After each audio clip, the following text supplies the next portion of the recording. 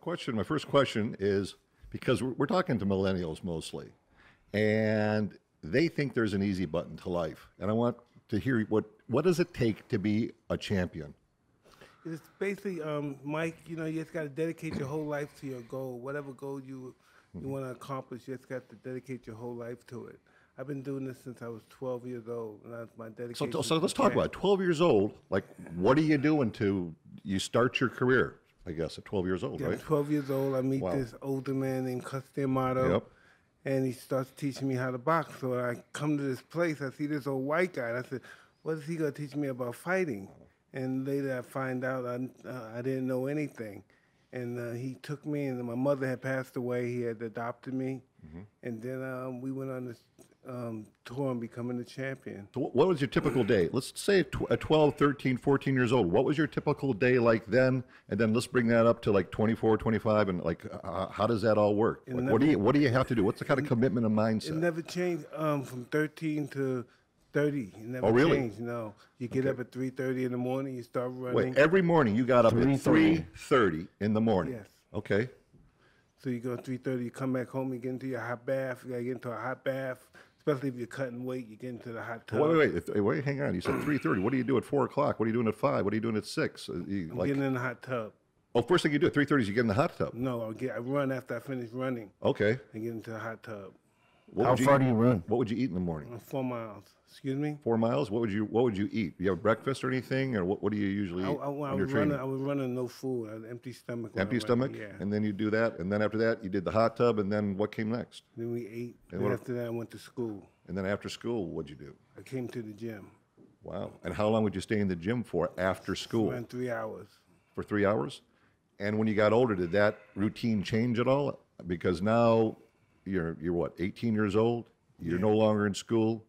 You're a professional boxer. What did that training day look like? It was the same thing. Exactly. constantly training. But instead of school, you're in the gym that whole time. Gym, yes. And what would you do in the like? What would you do? Would you study films and, and I watched like, a lot of films before I went to bed, but most of the time Really? it would be sparring. I sparred a lot. I did So- a lot of contact fighting. a lot of contact fighting? When you watch these these uh, films and videos of, of other boxers, how much time would you spend doing that?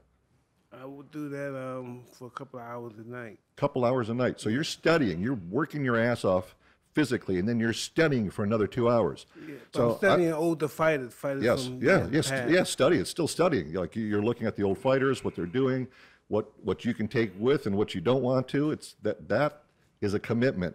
And anyone who's listening here, if you think that you're going to be successful and it's going to be an easy ride, it's going to be one of the toughest rides in your life to be a champion or to be top of your game. You can't get discouraged. Excuse me. You can't get discouraged if you lose or something happen.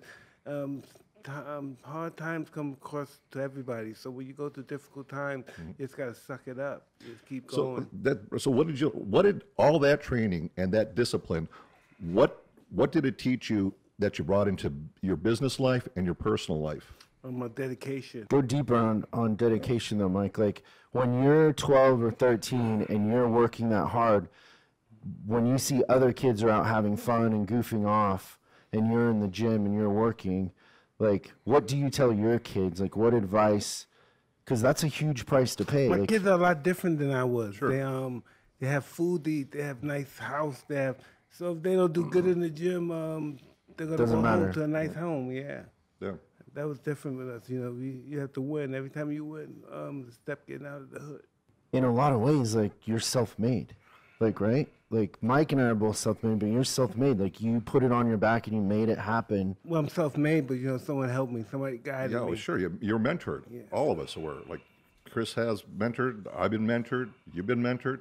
That's one of the keys to success. How important is a is a m- mentor and somebody to believe in you at a young age? Um, everything in the world to have somebody to believe in you. Because I was um, very insecure at one time, believe it or not. Mm-hmm. Sure, of course. I was a real Yeah, insecure believe it. kid. And um, well, it's- it's even talking about this guy.